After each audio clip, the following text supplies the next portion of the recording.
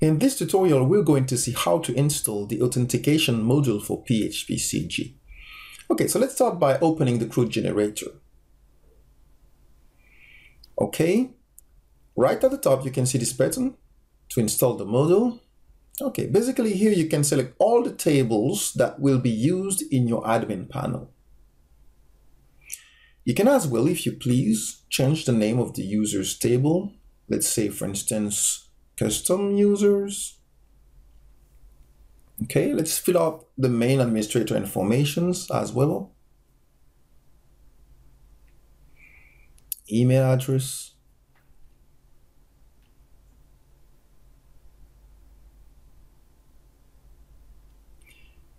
You can as well put the phone number.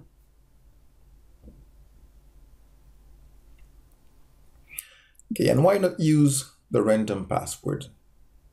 Okay, great. Now let's submit the form that the module might be installed. Okay, all green. Looks like we're good to go. So now we can click on the link right below, open the admin page that we may see what's happened. Great. Here we have this nice login form which pops up and now we can use our credential to enter in the admin panel. Great. As you can see, we do have the custom users right here. And when we click, we have a record, which is the super admin which was created. You can click and check the informations. Okay.